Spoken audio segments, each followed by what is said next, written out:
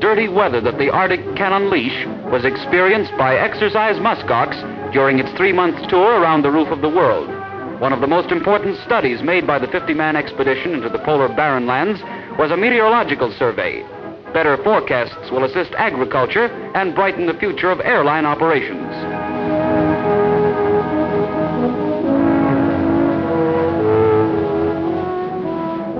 Constant air support kept the force of 12 snowmobiles supplied as they plowed across barren lands, ice fields, and uncharted lakes and rivers.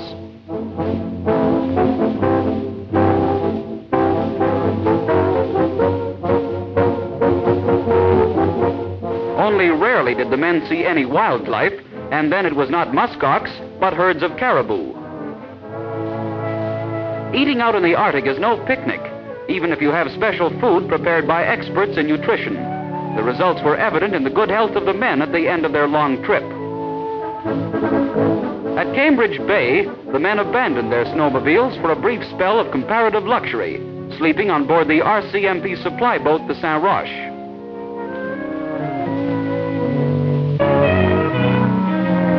Spring met the force as it turned south from Cambridge Bay and neared the timberline. The great 3,000 mile expedition, which probed the Arctic for more of its tightly held secrets, returned with a wealth of specific knowledge about a little known country of great natural wealth.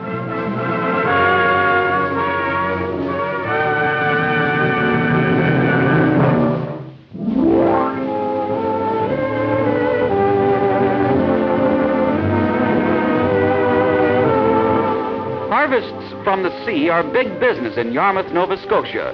It's a $150,000 industry.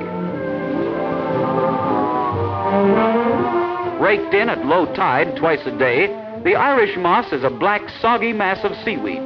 The seaweed produces an extract which is used in the manufacture of hand lotion, ice cream, and to clarify beer. A single stone on Tusket Island can yield 100 pounds of moss. Last year, 200,000 pounds were exported. When the sea harvest is dried and bleached white on the shore, it fetches a higher price at the market. The spongy weed looks like endive.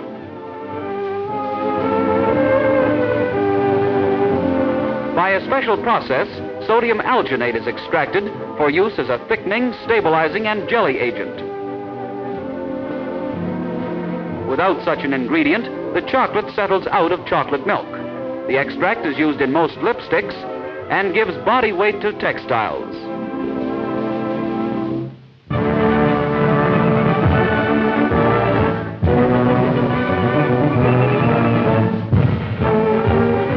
National Research Council in Ottawa puts its inventive genius to work for Canada's future. Now the story can be told of the Council's tailless aircraft or flying wing. In the huge wind tunnel, scale models are given exhaustive tests for flying performance.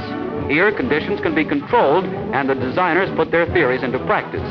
By eliminating the fuselage and tail surfaces, the designers reduced wind resistance and attained greater lifting power.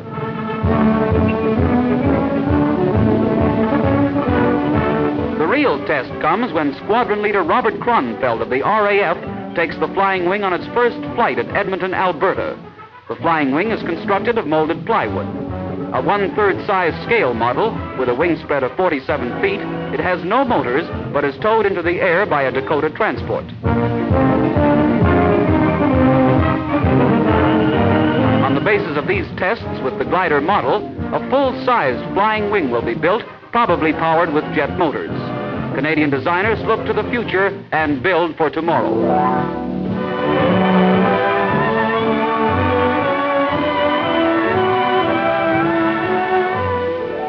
Apartments provide a real solution to the housing problem for married veterans attending the University of Saskatchewan. In these converted Air Force barracks, the serviceman and his family enjoy comparable living quarters. With his housing worries settled, he can concentrate on his academic career, and Canada gains a generation of scientists, doctors, and engineers. The apartment director discusses the day's meals with the head dietitian. These directors and the kitchen staff are the only paid help. All of the 250 people in the apartments take their meals in the cafeteria. The day nursery, financed by the community council, cares for children from two to six years old. Furniture for the project comes from the hobby shop. Most of the spare time in a veteran's day is spent in study. John Hutchison works on a pre-meds course. Others find three heads better than one. Veterans find time to discuss the world in which we live in the Currents Event Group, where the state of the nation is debated. Saturday night is dance night at the community apartments. The desire for learning will not be stifled by poor living conditions, and these veterans solve their problems in this unique Design for Living.